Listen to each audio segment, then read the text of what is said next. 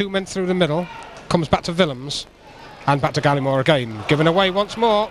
Gally goes in again and feet were high, but we got away with it and Gallimore picks it up. Looks for the man in the middle. It's a great ball. Just taken away from Jevons. Danny Butterfield. Oh, clipped over the top. Good ball. Jevons was okay and he still is okay. He's on his way now. Oh, it looked like handball. Definitely bobbled up to the arm. Miller needs to get his black shirt off or his black and silver shirt off. And put on a green one. And, and, and that'll just clash with the referee instead. So.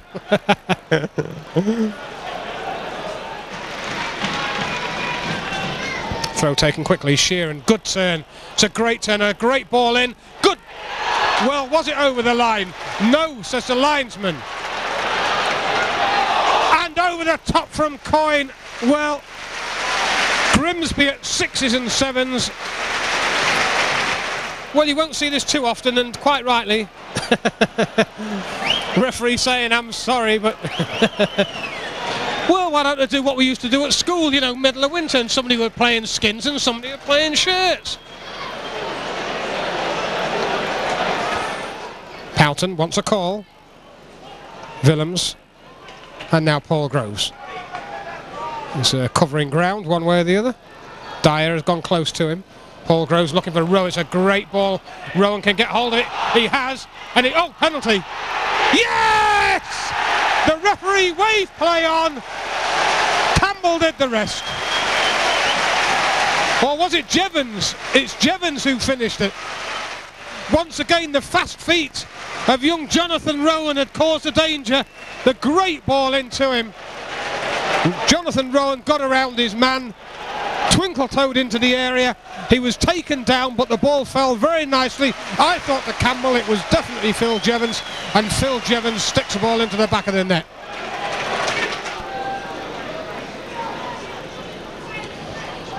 Mitch Ward.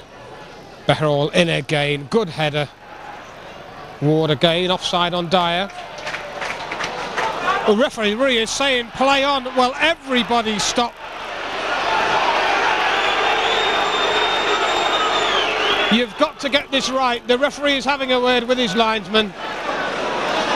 The linesman flagged for offside. It wasn't just Grimsby Town who stopped, it was Barnsley who stopped as well.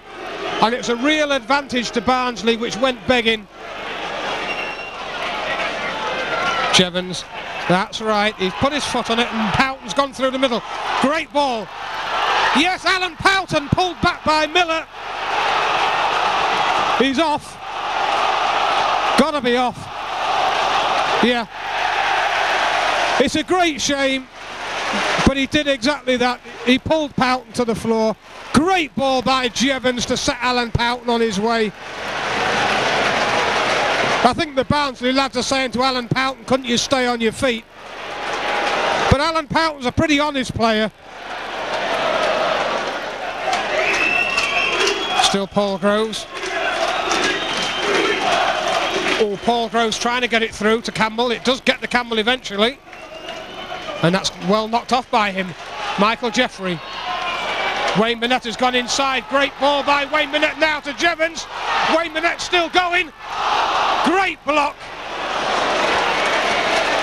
Great play by Town. Good play by Wayne Burnett. And even better by Andy Marriott. We reckon time is now played.